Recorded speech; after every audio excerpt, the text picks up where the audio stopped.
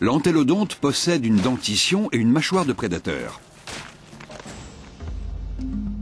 Avec ses longues pattes fines et ses sabots fendus, on peut supposer que ce n'est pas un très bon chasseur. Sans griffes, il ne peut saisir ses proies. Alors, qui est vraiment l'antélodonte Ken Sundell, vétéran de la chasse aux fossiles, pense avoir trouvé la réponse.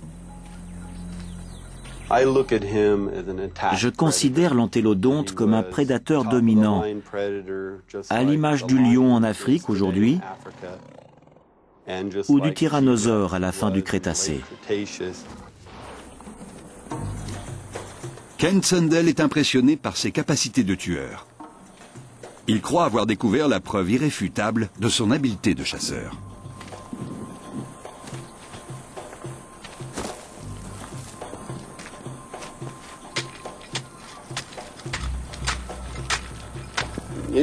C'est pas facile. C'est un travail d'esclave. Il y a 25 millions d'années, des rhinocéros, des chameaux et des chevaux s'abreuvaient ici, dans une rivière, au milieu de la plaine.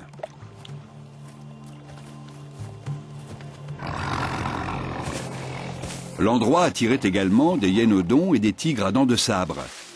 C'était le lieu idéal pour tendre une embuscade.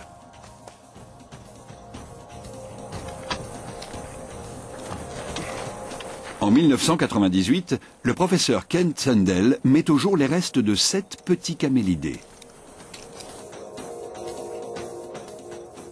Leurs os sont rongés et six de ces animaux n'ont plus d'arrière-train. Est-ce l'œuvre d'un hyénodon ou d'un tigre à dents de sabre?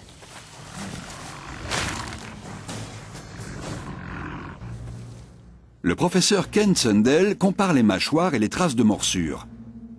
Il pense tenir le coupable, l'antélodonte.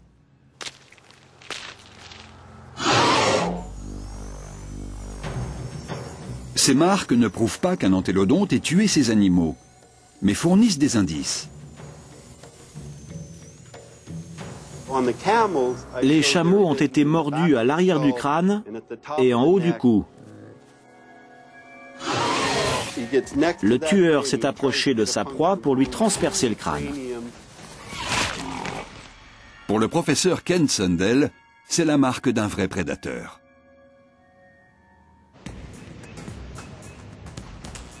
Dans l'Ohio, une expérience inédite confirme que l'antélodonte est bien un prédateur.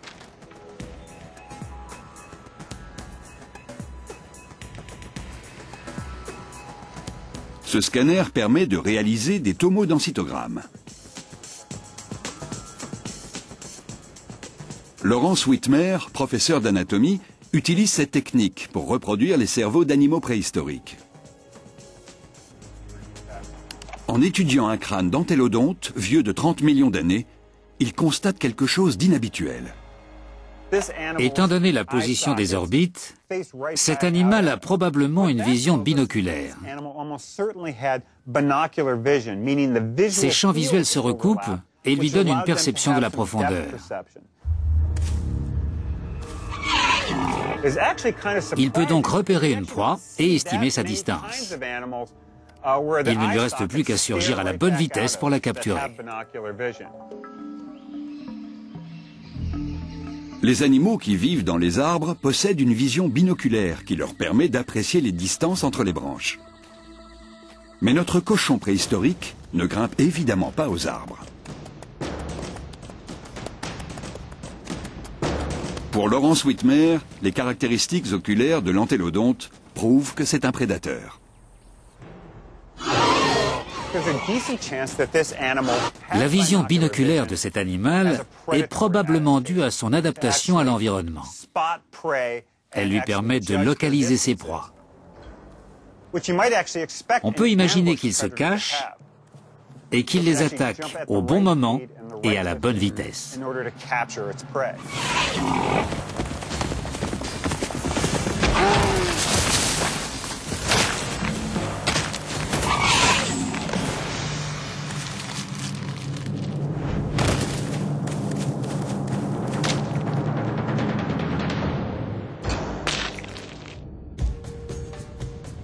Mais l'étrange morphologie de l'antélodonte laisse planer un doute sur sa capacité à courir et à bondir.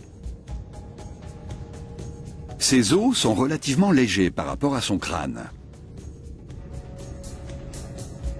L'antélodonte supporte le poids de sa tête grâce à de puissants muscles en haut de la colonne vertébrale, au-dessus des pattes, ainsi qu'entre la nuque et la queue.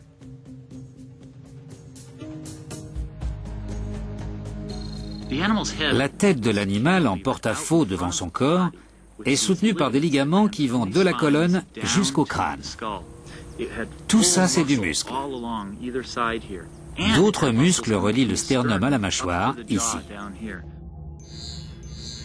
L'énorme tête est soutenue par une musculature puissante.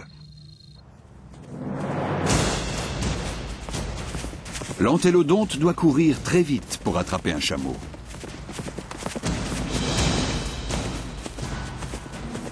Son corps agile et léger est certainement un atout.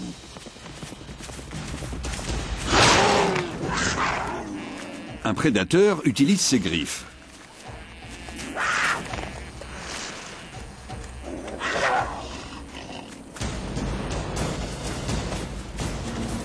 Comment l'antélodonte peut-il capturer un chameau avec ses seuls sabots fendus?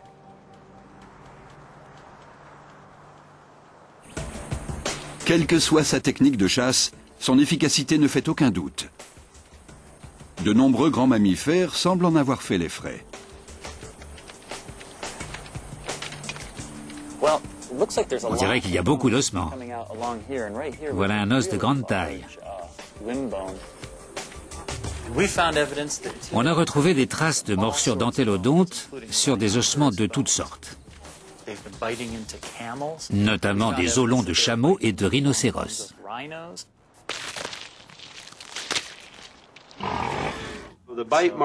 Il y a deux traces de morsures ici. Selon Ken Sundell, les crânes de chameaux découverts sur le site de White River nous apprennent comment un prédateur ongulé capture sa proie.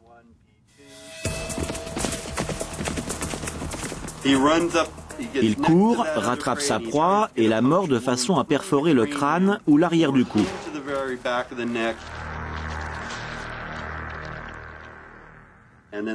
Il bouge sa gueule comme ça. Scott Foss, spécialiste des antélodontes, ne partage pas cet avis. Je doute que l'antélodonte capture ses proies avec les dents. Il utilise probablement son poids et sa capacité d'accélération pour percuter l'animal et le faire tomber.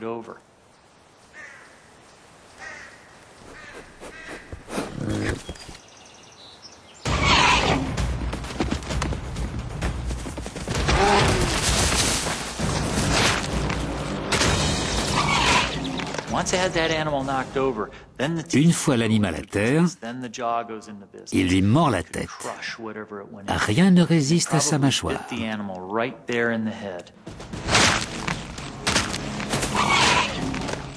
L'antélodonte possède donc tous les outils nécessaires pour achever sa proie.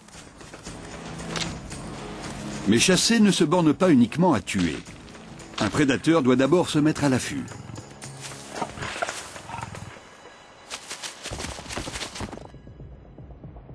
Pour mieux analyser ce processus, les scientifiques étudient un élément fossilisé.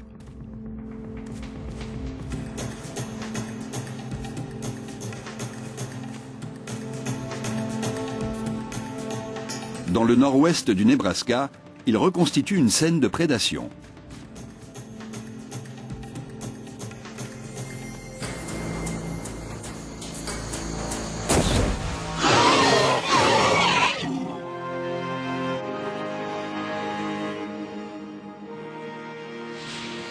Le parc géologique de Toadstool est le paradis des chasseurs de fossiles et des passionnés de préhistoire.